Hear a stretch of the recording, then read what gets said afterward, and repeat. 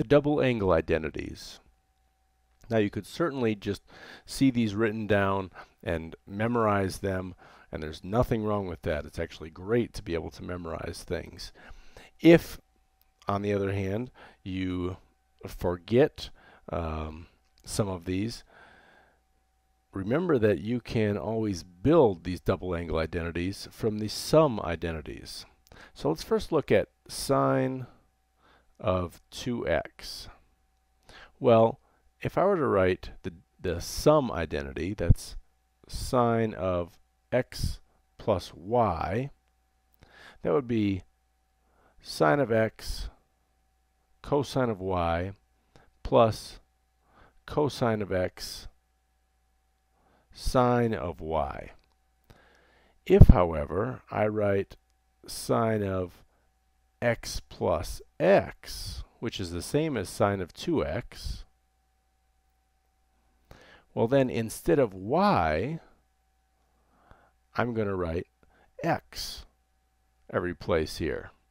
So now I could write this as sine of x cosine of x plus cosine of x sine of x and that equals 2 times sine of x cosine of x because all I've done is just combine these terms. Sine of x times cosine of x is the same as cosine of x times sine of x. So it's just two of those. So that's it. Sine of 2x equals 2 sine of x cosine x. Let's take a look at cosine of 2x. Cosine of 2x. Well, this again can be rewritten as cosine of x plus x. But first I'm going to look at cosine of x plus y and run through the same thing that I did up here in the green. Uh, cosine of x plus y equals cosine of x cosine of y minus sine of x sine of y. All right. So if I had cosine of x plus x, that is if it was an x instead of a y, I could go through and substitute x in everywhere I saw a y. So I'll show that, and I've got cosine of x cosine of x minus sine of x sine of x. And now this is just cosine squared minus sine squared or more specifically cosine squared x minus sine squared x so cosine of 2x equals cosine squared x minus sine squared of x. All right.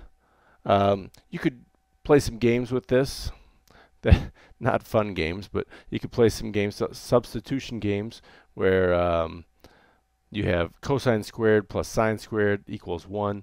So therefore, cosine squared of x equals 1 minus sine squared of x. And uh, and then you could plug all of this in for cosine squared of x.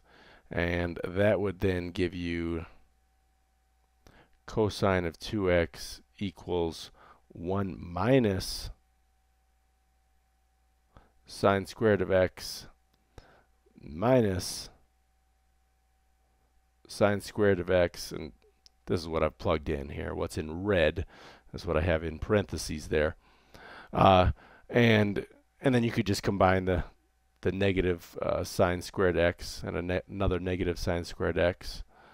So that would give you, let's scroll down a little bit just to give a little bit more room. That would give you cosine of 2x equals 1 minus 2 sine squared of x. So that is another identity, the double angle identity with cosine of 2x.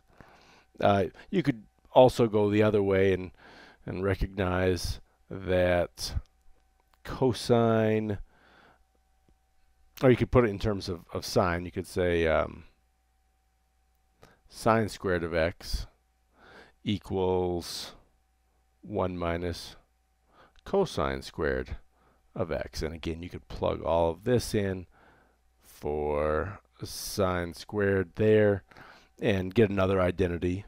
You could get the identity that cosine of 2x equals 2 times cosine squared x minus 1. That's from plugging this in for the uh, negative sine squared x.